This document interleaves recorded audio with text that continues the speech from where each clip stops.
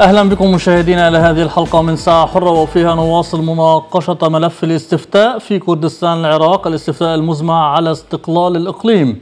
تركيا تحذر من حرب أهلية إذا مضى الإقليم في هذا الاتجاه. فما هي المحاذير التركية ومحاذير دول الجوار التي تعارض أيضا مع واشنطن هذا الاستفتاء على استقلال إقليم كردستان العراق واحتمال قيام دولة كردية؟ أرحب بضيوف هذه الحلقة وهم معنا من اسطنبول الكاتب والمحلل السياسي التركي يوسف كاتب أوغلو. ننتظر أن ينضم إلينا من أربيل بعد قليل عضو اللجنة العليا للاستفتاء في إقليم كردستان العراق عبد الله ورتي ومن طهران عبر سكايب ينضم إلينا رئيس تحرير وكالة مهر للأنباء حسن هاني زادة ومن واشنطن ارحب بالمسؤول السابق في البنتاغون الباحث في معهد أمريكان إنتربرايز ماثيو ماكينس. أهلا بكم جميعا ضيوفنا الكرام. سيد يوسف كاتب أوغلو دعنا نستمع معك ومع المشاهدين بداية إلى تحذيرات وزير الخارجية التركي تشاووش أوغلو من احتمال حرب أهلية في إقليم كردستان. عندما يواجه بلد عددا من المشاكل فإن استفتاء حول الاستقلال سيزيد هذه المشاكل سوءا وقد يؤدي إلى نشوب حرب أهلية هذا أمر جدي ونحن قلنا بوضوح إننا نقف بالضد من هذا الاستفتاء وسنستمر بقول ذلك سيد يوسف كاتب أوغلو في إسطنبول ما هي المحاذير التركية أو المخاوف التركية من استفتاء إقليم كردستان العراق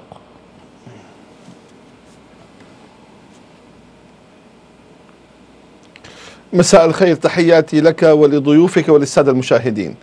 يعني تركيا تستغرب تماما كيف أن يكون هنالك الخطى الحثيثة لتقسيم الدول الموجودة في المنطقة، يعني العراق عندما وضع الفيدرالية ووضع إقليم كردستان في بداية التسعينيات بعد أن تم وضع خطوط العرض 32 و 36 وكانت مناطق ممنوعة للطيران. كان هنالك النية مبيتة منذ ذلك الوقت ليكون هنالك تقسيم لهذه الدولة والآن سيتم في الشهر القادم الاستفتاء للتقسيم النقطة الرئيسية هنا أن هذا التقسيم هو سيضعف دول المنطقة وسيهدد أمنها القومي كيف؟ لأن عندما يكون هنالك استقلال في شمال العراق وهذا سيضعف العراق بداية سيدعو إلى الدول المجاورة للعراق سواء كانت إيران أو تركيا والأقليات الكردية الموجودة أن تقوم بخطوات مماثلة. وهذا طبعا لن يتم السماح له. تركيا لن تسمح بأن يكون هنالك تهديد لأمنها القومي. وبالتالي تركيا طلبت من الحكومة العراقية أن تراجع حساباتها وطلبت من حكومة كردستان أن لا تتورط في خطأ استراتيجي كبير لأن هذا سيضر بأمن المنطقة ككل. وإن كان شأنا داخليا يتم تسويقه ولكن تبعاته هي ليست داخلية ولكن أيضا تؤثر. تركيا لديها حدود مشتركة مع شمال العراق نعم. وتحديدا مع كردستان العراق وأيضا إيران لديها حدود مشتركة. المنطقة هي قلقة ومضطربة وهذا سيزيد توترا ولن يكون في أمن واستقرار وليس لصالح هذه الدول ووحدتها وقوتها. سيد أوغلو ثمة من يرى؟ سيد كاتب أوغلو ثمة من يقول الآن أن إقليم كردستان عمليا وكأنه الآن دولة مستقلة. له البشمركة وهي بمثابة ربما جيشه الخاص له سلطاته المحلية له برلمانه وحكومته. يعني كل مقومات تقريبا الدولة المستقلة وعلاقاته جيدة جدا مع تركيا. ما الذي يقلق تركيا إذا صار دولة مستقلة بعلاقات ممتازة مع تركيا؟ ربما البعض يقول أن ذلك أكثر فائدة لتركيا لأنها ربما تضغط بدولة كردستان على أي دولة في المنطقة تحتاج ربما إن كانت لهذا الضغط على حكومة بغداد على الحكومة السورية على علاقات مع إيران وما إلى ذلك.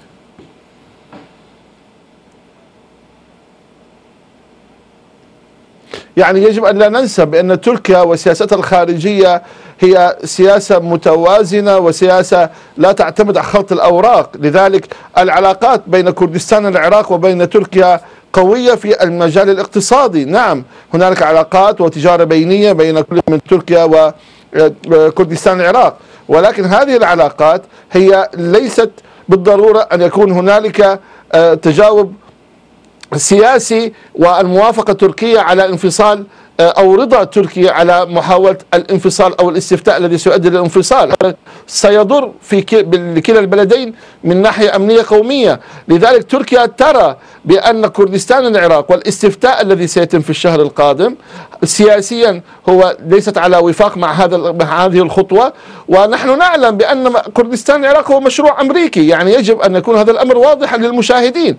يعني أمريكا هي التي ألقت بثقلها ليكون هنالك تجزئه العراق آه، ويكون هناك كردستان العراق كما هي الآن تدعم الأكراد في سوريا ولكن واشنطن ضد هذا الاستفتاء وطلب الوزير تيلرسون الأسبوع الماضي قبل أيام يعني قليلة الوزير تيلرسون طلب في في مكالمة هاتفية مع رئيس الإقليم السيد مسعود البرزاني بشكل واضح إرجاء هذا الاستفتاء وقال إن واشنطن تعارض استقلال إقليم كردستان الآن.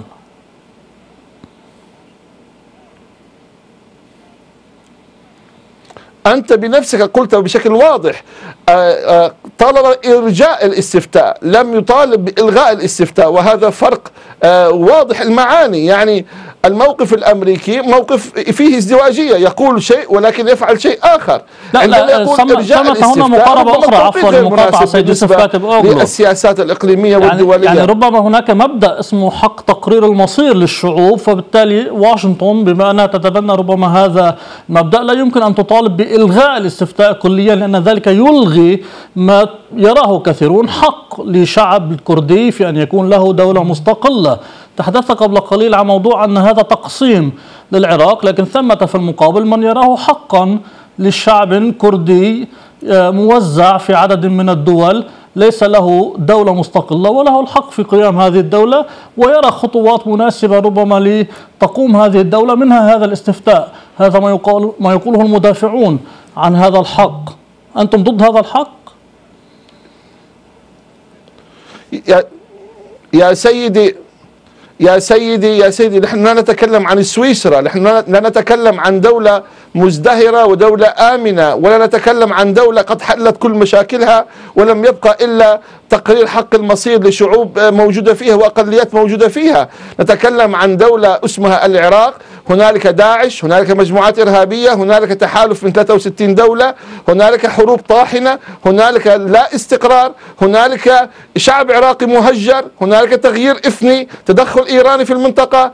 لا نتكلم عن عن وضع طبيعي. لا تقول لي الآن هو لتحقيق حق المصير. ليس هذا. هذه حجة يراد بها أمرا آخر. يعني القضية هي تجزئة الموجود لتحقيق آه، دولة كردستان كبرى وهذا بدايتها من العراق وستتبعها سوريا ثم يتم التلحين والتخطيط لكل من تركيا وإيران. يعني هذا المخطط الآن موجود ويتم الإعلان عنه بشكل واضح حتى عندكم في أمريكا. يعني الآن الكثير من آه، مراكز البحوث تتكلم عن آه، كردستان الكبرى وتتكلم عن دعم بعض الدول العربية لكردستان الكبرى. وإسرائيل أيضا ترى بأن كردستان حليف استراتيجي لذلك يجب أن تقوم دولة اسمها كردستان فهذه عبارة عن تخطيط إقليمي في المنطقة. هذا يزعج تركيا. تركيا هي التي لديها حدود مع العراق ليس لأمريكا وليس لدول أخرى لديها الحدود مع العراق. الأمن القومي التركي سيتعرض لتهديد حقيقي لوجود مجموعات إرهابية مثل الباكاكا وغيرها في, في شمال العراق. أي نعم هنالك تفاهمات بين تركيا وحكومة شم... آه، كردستان ولكن عندما يتم الانفصال بعد الاستفتاء هذا سيؤدي إلى تسونامي نعم. وتبعات وارتدادات آه، آه، سياسية ستنعكس بشكل سلبي على العلاقات البينية سيد ماثيو ماكنس في واشنطن أهلا بك مجددا الباحث في معهد أمريكان انتربرايز ما ردك على القول إن تجزئة العراق عبر احتمال دعم مشروع آه، استقلال كردستان وإقامة دولة كردستان الكبرى هو مشروع أمريكي لتجزئة المنطقة وتفتيتها كما يقول ضيفنا من إسطنبول.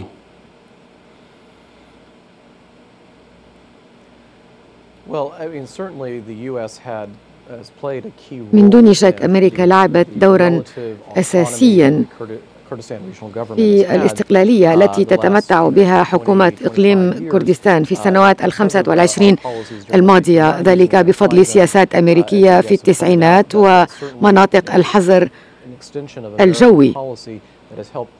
وهذه السياسة كانت حاضنة لهذا الاستقلال المتزايد أو الاستقلالية للإقليم إلا أن السياسة الأمريكية ليست بدعم استقلال. الإقليم بشكل كامل. أمريكا تشجع وحدة الأراضي العراقية وأمريكا تعترف بأن الاستقلال الكامل قد يؤدي إلى زعزعة الأوضاع في العراق وربما أيضا في سوريا وتركيا وإيران المجاورة. وبشكل عام أعتقد أننا نفهم أيضا أن هذا الاستفتاء يمكن أن يؤجل ونتمنى أن يكون الواقع كذلك. هناك اعتراف. بأن هذا التأجيل سيكون مؤقتا لأن الشعب الكردي يريد استفتاء ولا يمكن أن نحرمهم منه لو أرادوا ذلك. نعم. وفي تقديرك ما خلفية التحذير التركي من حرب أهلية إذا ما سار الإقليم في اتجاه الاستفتاء ثم الانفصال؟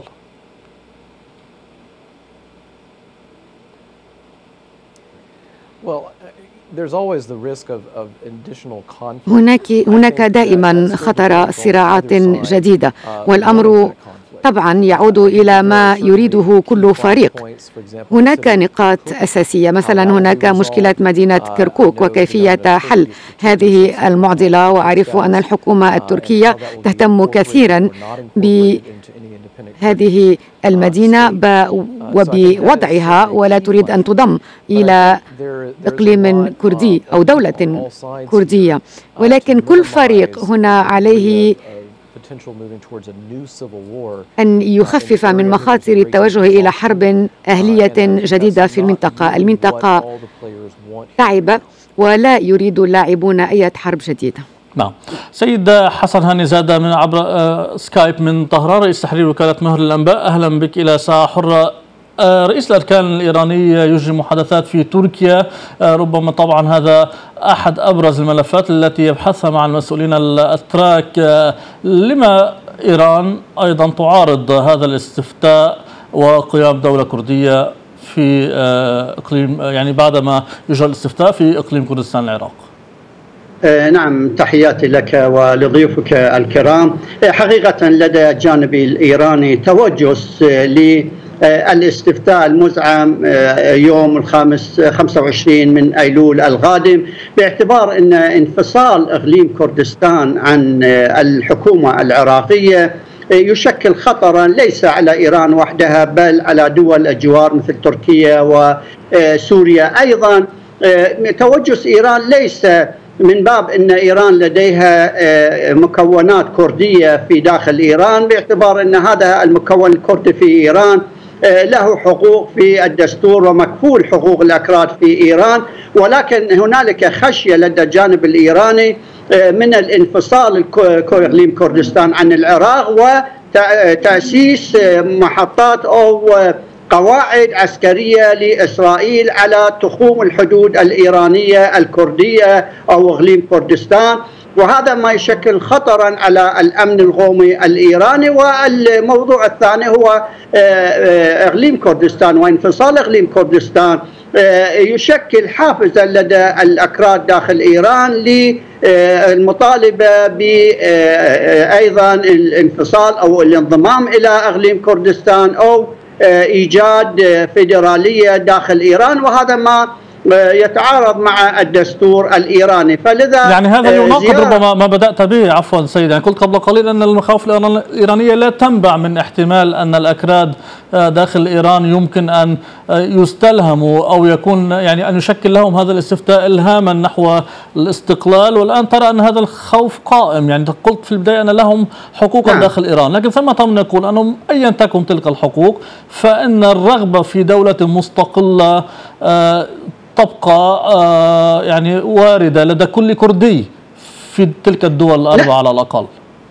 نعم حقيقة هذا التوجس قائم لدى الجانب الإيراني ولكن أقل من تركيا التي لديها أكثر من 20 مليون كردي داخل تركيا عدد الأكراد في إيران لا يتجاوز الخمسة ملايين وإيران بطبيعة الحال تخشى من تأسيس قواعد عسكرية إسرائيلية أكثر من أن يكون هنالك رغبة لدى المكونات الكردية داخل إيران للمطالبه بالانفصال أو بالفيدرالية فإيران تحترم حقوق الأكراد وهنالك الأكراد لديهم إمكانيات ويستطيعون التحدث باللغة الكردية ولديهم أيضا إذاعة ولديهم صحف ووكالات أنباء وهذا قدر الإمكان يعني إيران وفرت الحرية للأكراد رغم أن باقي الدول المجاورة للعراق لا تحترم حقوق الأكراد، إضافة إلى طيب. ذلك إن الأكراد إقليم كردستان الآن وضعه أفضل من الحكومة العراقية والشعب العراقي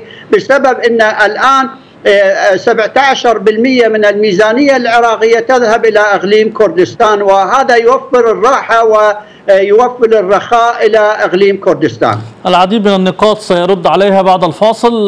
ضيفنا من أربيل الذي انضم إلينا الآن عضو اللجنة العليا لاستفتاء أقليم كردستان العراق السيد عبد الله ورتي. أهلا بك. إلى ساعة حرة أتابع معك ومع سائر الضيوف بعد هذا الفاصل الأول في هذه الحلقة من ساعة حرة.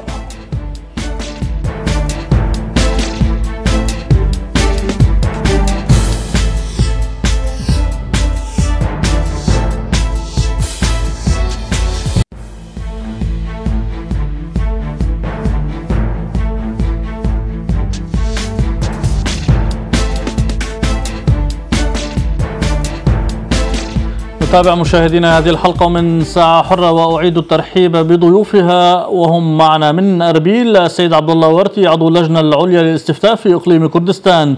ومن اسطنبول الكاتب المحلل السياسي التركي يوسف كاتب أوغلو من واشنطن الباحث في معهد أمريكان انتربرايز ماثيو ماكينيس ومن طهران رئيس تحرير وكالة مهر للأنباء حسن هاني زادة. أهلا بكم مجددا. سيد عبد الله ورتي في أربيل نقاط عدة طرحها الضيوف قبل انضمامك إلينا. منها ما قاله السيد يوسف كاتب أوغلو من اسطنبول أن استفتاء إقليم كردستان ثم استقلال الإقليم وقيام دولة كردية سيشكل تهديدا للأمن القومي التركي. هل لديكم ما تطمئنون به تركيا حيال هذه الهواجس؟ بداية بسم الله الرحمن الرحيم. أهلا وسهلا ومرحبا بكم وبضيوفك الكرام. حقيقة الشعب شعب كردستان ينتظر من من من كل دول المنطقة وخاصة إيران. إيران وتركيا وسوريا والعراق أن يؤيدون حقوق شعب كردستان قبل أن يجي هذا التأييد من أي دولة أخرى في العالم العربي أو في العالم الأوروبي. هذا السؤال حقيقة يقلقنا كثيرا. لماذا الخوف من أن يصل شعب كردستان إلى حقوقه المشروعة؟ لماذا لماذا يعتبرون استفتاء إقليم كردستان العراق ووصول شعب كردستان إلى حقوقه المشروعة وتقرير مصيره بالتهديد عليهم على إيران أو على تركيا؟ نحن نعتقد بأن استقلال بأن إعلان دولة كردية في المنطقة قد تكون سببا اساسيا للاستقرار الأمني والسياسي في المنطقة بشكل عام. استقلال دولة كردية تكون سببا لانتهاء لانتهاء الحرب ولانتهاء هدر الدماء في المنطقة بشكل عام. نحن نطلب من كافة الدول من كافة الدول دول الجوار لإقليم كردستان أن يتفاهمون مع أن يتفاهمون مع قيادات الكردية ومع شعب كردستان هذا الموضوع بالعقلانية. حقيقة لا يوجد شعب في شرق الأوسط ولا في العالم لم يصل إلى حقوقه المشروعة مثل شعب كردستان. نحن مسلمون وإذا كانوا مسلمين أيضا يقول الله سبحانه وتعالى يا أيها الناس إنا خلقناكم من ذكر وأنثى وجعلناكم شعوبا وقبائل لتعارفوا. لماذا تعارضون حقوق شعب كردستان؟ شعب كردستان قد وصل إلى إلى إلى إلى درجة نهائية حقيقة. إذا لم يصل شعب كردستان إلى حقوقه في هذا الظرف بالذات لأننا نعتبر بأن الظرف الدولي وظرف الإقليمي مناسب لإجراء الاستفتاء ولإعلان الدولة الكردية. نعم. سيد عبد الله وأرتي يعني تقولون ان الظرف مناسب الآن وهذا يتناغم مع ما يقوله كثيرون إنها فرصة تاريخية للأكراد. لكن ثمة من يفسر هذه الفرصة التاريخية على أنها استغلال لضعف دول المنطقة وثمة من يقول إن الاستقلال سيعزز هذا الضعف وربما يفككها أكثر فأكثر. السيد كاتب اغلو قال قبل قليل من إسطنبول إن هذا مشروع لتجزئة المنطقة وتفتيتها. ما ردك على هذه النقطة؟ أنا أعتقد بأن هذا نظرة خاطئة لأن لأن إقليم كردستان قد أثبتت في العقود الماضية بأن إقليم كردستان العراق كان سببا لاستقرار المنطقة ولم يتدخل يوما من الأيام لا في شؤون أكراد إيران ولا في شؤون أكراد تركيا ولا في شؤون أكراد أي أي دولة أخرى التي يتواجد فيها الأكراد. حقيقة يعني الإقليم إقليم كردستان أو شعب كردستان يريد أن يبقى إيران قوية قوية وأن تبقى تركيا قوية وأن تبقى إيران قوية العراق قوية. ليس ليس لنا مشكلة معهم ولكن المشكلة في وجودنا في عيشنا أن نعيش في وطننا بالأمن والسلام والاستقرار. سيد دوارتي أيضا نقطة أخرى قالها سيد أوغلو متعلقة بأنكم تتحدثون عن الاستقلال والحق الكردي وكأنكم تعيشون في سويسرا وليس في العراق والمنطقة حيث تنظيم داعش حيث مخاطر كثيرة حيث خلافات عديدة في المنطقة ربما لا تتح مجالا حتى لأن تحيا دولة كردستان إذا ما استقلت. والله بسبب اعتقادنا وبمعتقداتنا لم نتمنى ان أن نعيش الأكراد في في سويسرا أو في في أي دولة أخرى أوروبية أو أو في أي مكان أخرى. نريد أن نعيش في وطن اسلامي إسلامي في في في أرض إسلامي. ولكن مع الأسف الشديد كل المسلمون أغلب العفو مو كل المسلمين بل أغلب السياسيين في في إيران أو في تركيا أو في العراق يعارضون وصول شعب كردستان إلى حقوقه المشروعة. لماذا أنتم لماذا أنتم تعارضون يا إخواني؟ أنت برأيك لماذا يعارضون؟ برأيك لماذا يعارضون؟ بسبب بسبب أنهم يشعرون بأن مصالحهم تقع في خطر. لماذا مصالحكم تقع في خطر إذا إذا كنا إذا إذا يعني نجد مثل أي قومية أخرى دولة دولة مستقلة ذات سيادة لماذا؟ يعني يعني هذا هذا نظرة حقيقة يقلب يقلق شعب كردستان. نعم.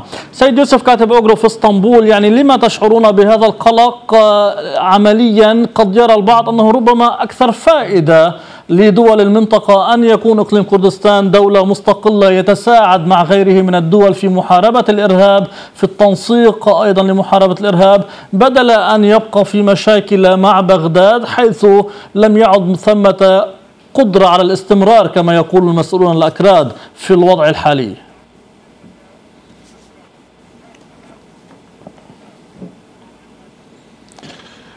يا سيدي يعني أنا استمعت لضيفك الذي هو مسؤول عن لجنة الاستفتاء والدستور والانفصال السيد عبد الله وأنا يعني صراحة آسف أن أقول أنه يتخبط في كلامه. يعني هذا الكلام ليس كلام منطقي ولا واقعي ولم أستطيع أن أفهمه بسهولة. هو يتكلم كمن يخطب خطبة أمام جماهير. سأفند ما قال وأرد عليه إذا أعطيتني الوقت لو تكرمت. هو يقول بداية أن إقليم كردستان العراق هو سبب لاستقرار المنطقة ولم يتدخل في شؤون المنطقة فما ما قلق. الإقليم مستقر ولم يتدخل في شؤون الآخرين وهو يعني يريد أن يبقى في إدارة شؤونه وهو الآن دولة مستقر وهو يعني إقليم مستقل. يا سيدي إذا كنت مستقلا مستقرا ومستق و... وليس هنالك أي تدخل وليس هناك أي مشاكل. لماذا الاستقلال إذا لماذا لا تبقى إقليما فيدراليا ضمن العراق؟ يعني لماذا يتم الانفصال؟ إذا كنت الآن لديك الحقوق وتمارس كل ما تريد ولديك برلمان خاص ولديك الميزانية الخاصة بك ولديك كل الصلاحيات وتقول أنك مستقر. وهنالك استقرار أمني وليس هنالك أي مشاكل مع أحد، لماذا الانفصال اذا؟ هذا رقم واحد. عن هذا السؤال ثم ثم تنتقل إلى النقطه الثانية عندما يقول بأن نقطة نقطة سيد كاتب أوغلو. آه سيد ورتي ردك على هذا السؤال. مع مع الأسف الشديد آه مع الأسف الشديد لهذا لضيفك الكريم آه الذي الذي يرى بأني قد أقدم الخطبة على المنبر لأني قرأت آية قرآنية آية قرآنية أعتقد بأنه لا يؤمن بها. مع الأسف الشديد هذه هذه المشاعر التي يتكلم بها هذا الرجل حقيقة يشعر يعني يؤدي المنطقة إلى إلى الخراب وإلى الدمار. هم لم لم يشعبونا من من من هدر الدماء. أنا لست مسؤولا عن عن لجنة الاستفتاء. يا أخي أنا عضو أنا ممثل حزب في هذه اللجنة وشعب كردستان قد قد يقرر مسيره. نعم هو هو سألك بشكل واضح. إذا كنتم يعني مستقرين الآن لما تريدون الاستقلال؟ لا حقيقة الحكومة العراقية ما التزمت بالتزاماته الدستورية تجاه حكومة تجاه شعب كردستان. ومع بدء حرب مع هجوم داعش على إقليم كردستان العراق الحكومة العراقية قطعت كل الإمدادات العسكرية على لقوات البيشمركة لكي يدافع بها عن إقليم كردستان وعن أربيل ودهوغ والسليمانيه وباقي شعوب المنطقة التي يتواجدون في في إقليم كردستان العراق. إضافة إلى ذلك الحكومة العراقية قامت بقطع رواتب الموظفين. لم يأتي إلينا من بغداد رواتب الموظفين والحكومة العراقية لا لا تهتم بشؤون إقليم كردستان العراق وخاصة السياسية والعسكرية والإقتصادية. وترى أن الاستقلال سيحل هذه المشاكل. نحن نرى بأن الاستقلال من حقنا من حقنا الطبيعي. الاستقلال شعب كردستان ناضل في أجل الاستقلال. نعم. وقدم وقدم تضحيات كثيرة وقدم ثورات متتالية ضد الدكتاتوريات طيب سيد وقتي أسف على المقاطعة مضطرون لهذا الفاصل. أعود بعده لاستكمال هذا الحوار مع سائر الضيوف.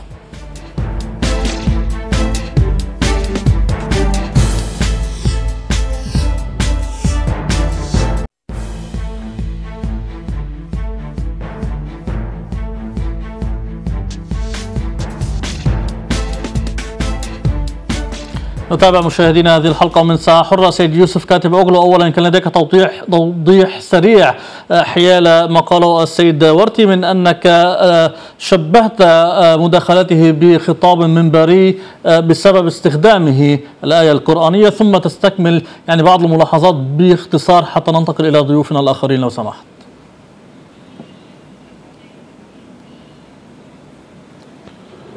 طبعا بداية ما قصدته ليس هو لأنه قرأ آية قرآنية كلنا مسلمون وكلنا نحترم القرآن ولكن هو ليس لديه الحق بأن يكون بصدد قراءة النوايا. النية هي تماما مختلفة تماما نتكلم عن حوار سياسي وتحليل المنطق الذي يجب اتباعه في فهم ما يحصل الآن في كردستان العراق وليس له علاقة بما قاله من آية قرآنية كريمة. نحن القرآن جميعه نحترمه ونجله ولكن ليس هو المقصود. النقطة الذي أريد أن أسألها هنا لضيفك السيد عبد الله من إقليم كردستان هو يقول قال في كلامه نحن نريد كل من إيران والعراق وتركيا دول قوية دول قوية نحن ليس لدينا مشاكل معها ستبقى دول قوية. يا أخي بالمنطق أنا فهمني كيف ستكون دول قوية. يعني العراق الآن عندما يخسر إقليم وهو شمال العراق وهو كردستان العراق كيف سيكون قويا؟ أليس القوة في التوحد؟ أليس القوة بالمساحة الأكبر بالإمكانيات الأكثر بالقوة البشرية الأكثر؟ الآن أمريكا يعني الآن الآن مع اختلاف الكثير من وجهات النظر من اليمين واليسار والجمهوريين والديمقراطيين هل سيتسمح لأي ولاية الآن بحجة أنها يعني ثم من يقول أن العراق بمشاكله الحالية هل سيسمح لأحد؟ يعني مشاكل بغداد وأربيل تضعف العراق يعني البعض يرى ذلك وأنه ربما استقلال الإقليم قد يقوي الدولة المركزية في العراق ويقوي أيضا دولة مستقلة في الإقليم في أربيل. عاصمتها أربيل. العكس العكس تماما العكس تماما وجود الإقليم كردستان مع العراق هو الذي سيقوي إقليم كردستان. لماذا؟ عندما يتم انفصال إقليم الكردستان مفهوم إقامة أي دولة له مفاهيم دولية متعارف عليها. واحد يجب أن يكون له منفذ بحري. أين المنفذ البحري لكردستان إذا انفصلت عن العراق؟ يجب أن تكون تعداد سكانها يفوق الثلاثين مليون. ما عدد سكان الإقليم؟ هل هو يتحقق في هذه 30 مليون؟ هنالك مقومات يعني هناك دول أقل بكثير من هذه الأعداد. تكون قوية. ما يتم الآن الإعداد له هو التقسيم. يعني الآن ما يتم الآن السعي له هو تفتيت القوة الموجودة في المنطقة. القوة العراقية والدولة العراقية الآن بهذا التقسيم ستعطي مبرر أكثر أيضا لإثنيات أخرى وأقليات أخرى لكي تنفصل أيضا عن العراق. يمكن التكلم فيما بعد عن إقليم شيعي ينفصل في الجنوب وإقليم سني يكون في الوسط يعني هذه بداية التجزئة هذه بداية طيب. إضعاف العراق دعنا ننتقل للضيوف الآخرين سيد كما كانت قبل ذلك لذلك يجب أن يكون هناك وعي كامل لما هو مخطط نعم. سيد ماثيو ماكنس في واشنطن كيف ستوفق واشنطن في تقديرك بين أن تدعم حقوق أي شعب أي قومية في أن يكون لها حقها في تقرير مصيرها وبين الهواجس من أن مثل هذا الاستفتاء وهذا الانفصال قد يلحق الأضرار بالعراق بتركيا باستقرار المنطقة كما تقول واشنطن.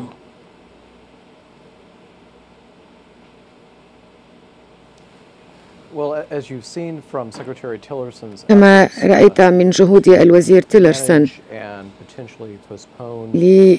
لمحاولة تأجيل هذا الاستفتاء. أعتقد أن واشنطن تحاول إدارة الوضع الحالي. وواشنطن تعرف إنها لا تمكن لا يمكن لها أن تقف عائقا أمام حق الشعوب في تقرير الوسيل في تقرير المصير. ولكن ما يقلق واشنطن هو أنه لو أراد الأكراد الاستقلال فلا بد من التعاطي مع هذه المسألة بطريقة تتجنب المزيد من الصراعات الداخلية في العراق أو الإقليمية بشكل عام. ما يقلق أمريكا في هذا الإطار؟ هو أن تتقدم الأمور بطريقة تكون لمصلحة غالبية اللاعبين. إن لم نقل كل اللاعبين في الإقليم وفي المنطقة لتجنب النزاعات. الأولوية الأمريكية في اتخاذ مواقف من هكذا ملفات سيد ماكينيس ما هي عملية؟ لأنه في حالة جنوب السودان في الاستفتاء نهاية 2010 كان هناك دعم أمريكي واضح لذلك الاستفتاء الذي أدى إلى استقلال دولة جنوب السودان التي تعاني الآن حربا أهلية. لما الموقف مختلف فيما يتعلق بالأكراد في العراق؟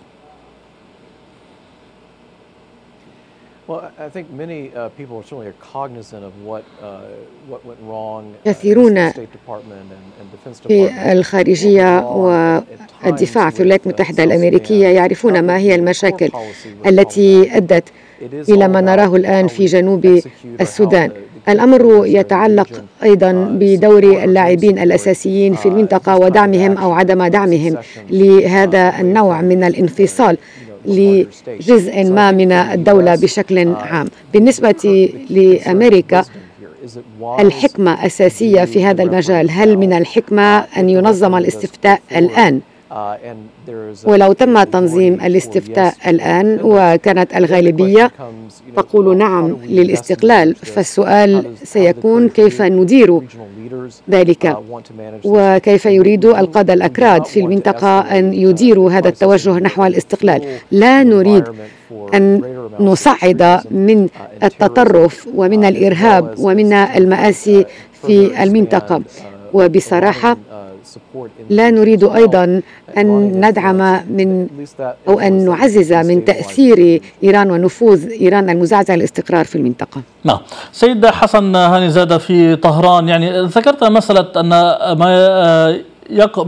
ما هو خلف موقف إيران من معارضة استفتاء إقليم كردستان ثم الاستقلال أن تكون هناك قواعد إسرائيلية في الإقليم هل إيران بقوتها وثقلها في المنطقة عاجزة عن أن تحصل من الإقليم على ضمانات بألا تكون مثل هذه الخطوة إذا ما استقل مقابل أن يدعم كدولة مستقلة أن يعطى هذا الشعب حقه في بناء دولة؟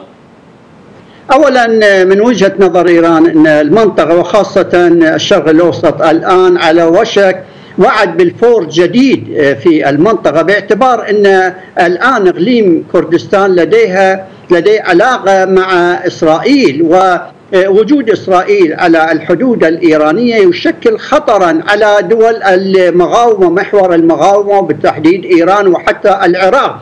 والثاني إن إقليم كردستان بعد عام 2003 بعد الإطاحة بالنظام العراقي السابق حصلت على حصة الأسد من الإطاحة بالنظام السابق وهي الآن يعني ثم من يرى ان إيران هي من حصل على حصة الأسد.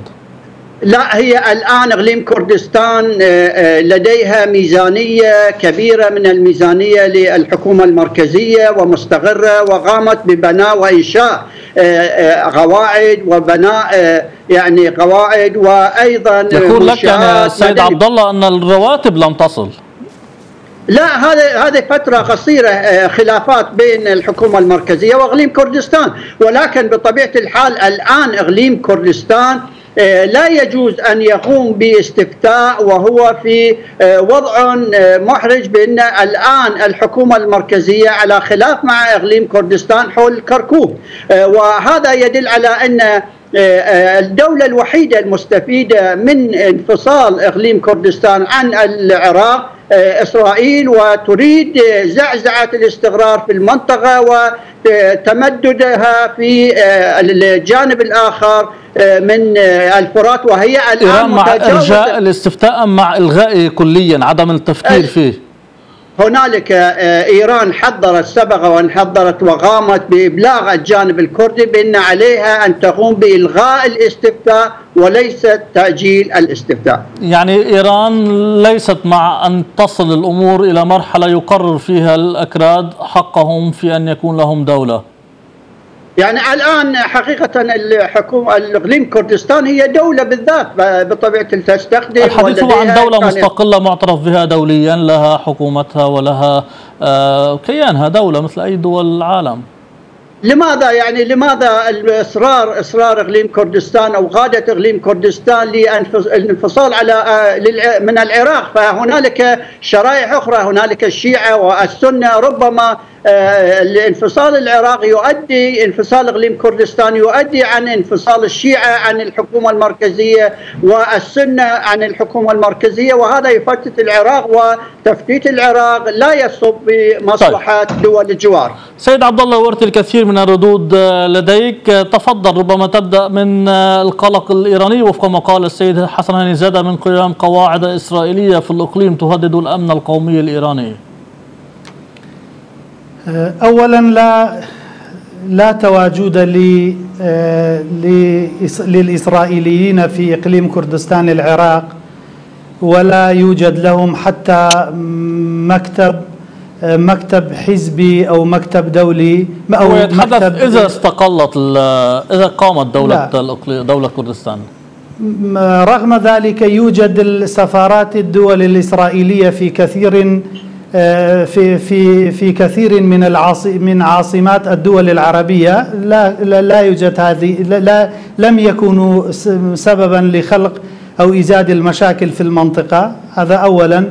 ثانيا بعد سقوط نظام صدام حسين القيادات الكردية بكل أحزابها وتوجهاتها وتصوراتها بذلوا جهودا كبيرة في سبيل في سبيل إنشاء عراق جديد ديمقراطي وبناء مؤسسات مؤسسات الدولة على أساس التوافق وعلى أساس التفاهم والحوار مع كل مع كل الأحزاب والقوميات والمذاهب في في العراق.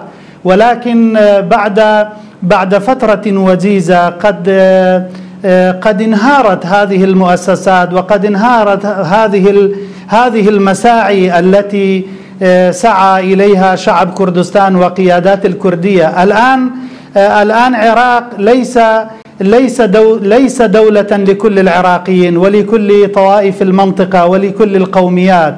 بل بل بل تدير العراق بل تدير العراق بعض بعض بعض الشخصيات أو بعض الأحزاب يعني قد تبدو في في جبهتهم تقريبا يعني طائفة واحدة. يعني ليس كل الطوائف مثلا لا يعني حتى بعض أكو أكو بعض وجهات نظر لإنهاء التوافق السياسي في العراق. بل يحكم العراق في المستقبل الأغلبية.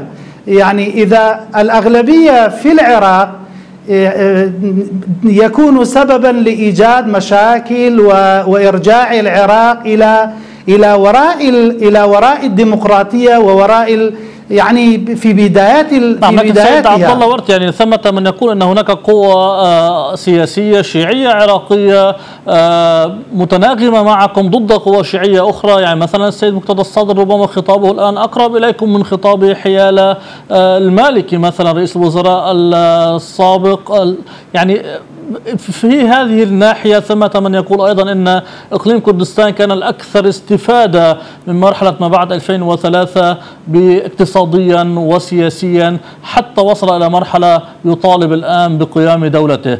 تجيبنا عن هذه النقطة لو سمحت بعد هذا الفاصل الأخير. أعود إليك وإلى سائر الضيوف في الجزء الأخير من هذه الحلقة من ساعة حرة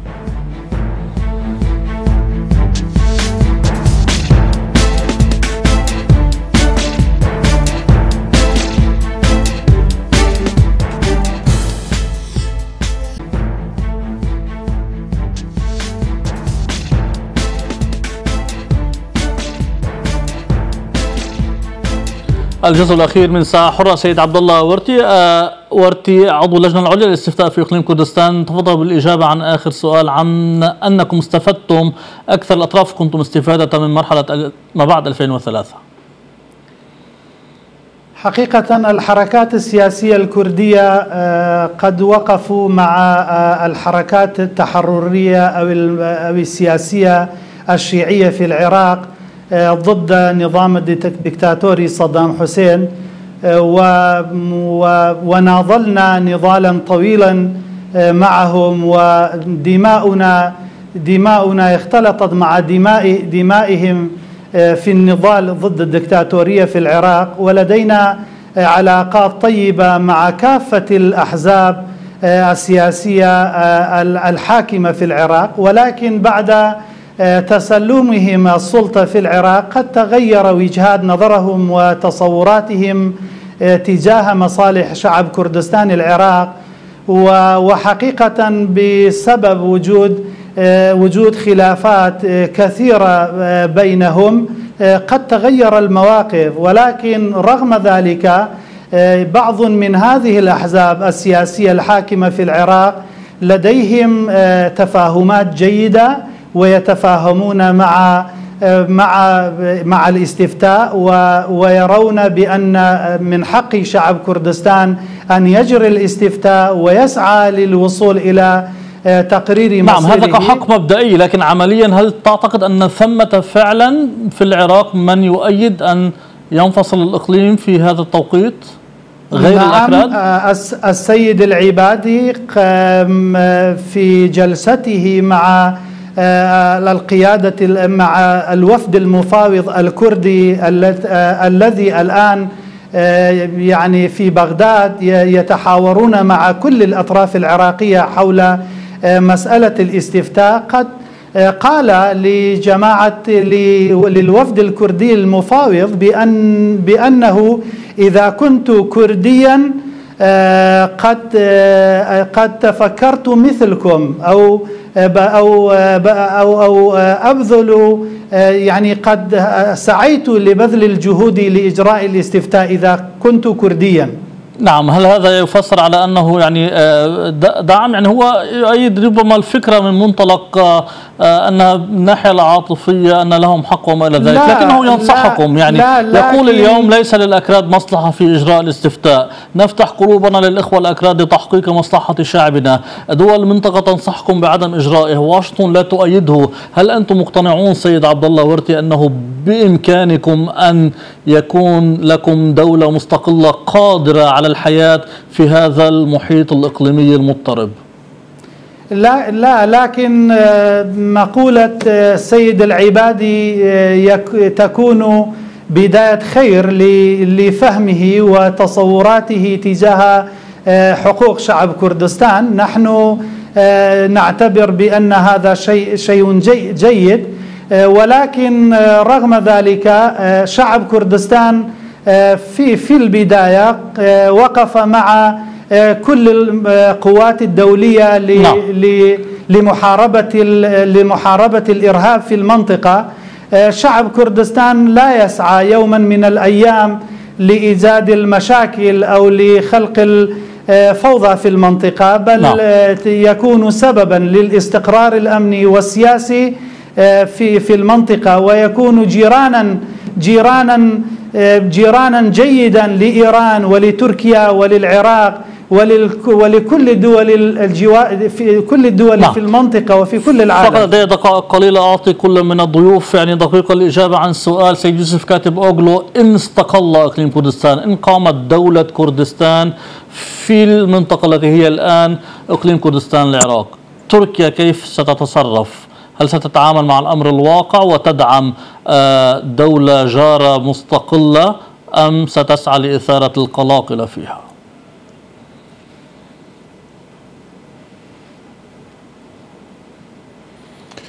لا أبدأ من حيث انتهيت. السياسة التركية الخارجية هي لن تكون آه، سياسة آه، تعتمد على إثارة القلاقل وإثارة المشاكل مع دولة أخرى. ولكن تركيا تريد أن توصل رسالة إلى حكومة كردستان العراق عليها أن تفكر مليا وجيدا في ما بعد هذا الاستفتاء وما بعد هذا الانفصال. هذا سيؤدي إلى نتائج كارثية وعكسية عليها بداية قبل أن يكون على دول الجوار نعم. لن تكون هي في مأمن أو في معزل من أي اضطرابات أو أي آه، مشاكل سواء كانت حروب أهلية أو غيرها وستكون دائما هنالك قلاقل ذاتية وداخلية نعم. ترى بأنها يجب عليها أن تعيد النظر وأن لا تتورط كل من تجزأ عن دول قديمة أصبح لديه مشاكل أكبر وأصبح لديه اللا استقرار والقومية لا تأتي بخير نعم. الشعب الكردي هو من نسيج الشعب العراقي وعلى الدول أيضا تعي هذه النقطة بأنه التجزئة ستضر ولن تعطي نعم. نتيجة سيد حسن هاني زادة باختصار شديد إيران كيف ستتعامل مع احتمال قيام دولة مستقلة كردية؟ اولا إيران سبق وان نصحت قادة إقليم كردستان بعدم إجراء استفتاء ولا ننسى إن 40% من المياه في إقليم كردستان تأتي من إيران و60% من المياه تأتي من تركيا وهنالك توافق بين إيران وتركيا نعم. لاتخاذ قرارات صارمة وقرارات آه، ضد إقليم كردستان إذا ما أعلن الانفصال عن العراق. نعم. سيد ماثيو مكنس بنصف دقيقة لو سمحت. آه، هل تعتقد أنه من الممكن أن تقوم دولة كردية مستقلة إن لم تعلن واشنطن دعمها العلني لهذا الخيار؟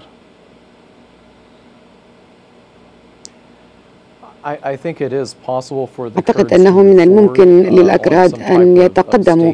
فيما يتعلق بالتوصل إلى دولة ما. حتى لو كانت أمريكا وبعض حلفاء المنطقة وإيران ضد ذلك. أعتقد أنه سيكون صعبا لكردستان أن يواجه الأوضاع لوحده إن عرض المجتمع الدولي ولكن واشنطن تعترف أن هذا هو الطريق المنتظر. نعم. سيد عبد الله ورتي في أربيل هل أنتم قادرون على صيانة دولتكم إذا قامت من حرب أهلية داخلية؟ انظروا إلى جنوب السودان يقول لكم الكثيرون.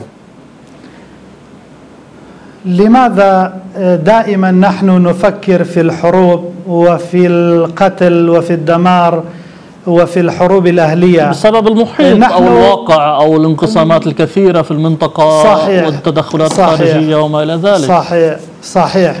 ولكن رغم ذلك نحن نعرف جيدا بأننا نحتاج لكل الدول دول الجوار ولكل العالم لكي يؤيدون حقوق شعب كردستان ويفهمون جيدا بأن بأن شعب كردستان قد ناضل نضالا كبيرا للوصول إلى حقوقه المشروعة ولكي يكون حرا حرا في المنطقة. يعيش يعيش مثل مثل مثل مثل مثلهم مثل الإيرانيين ومثل الأتراك ومثل ومثل إخواننا العرب وباقي وباقي القوميات الأخرى.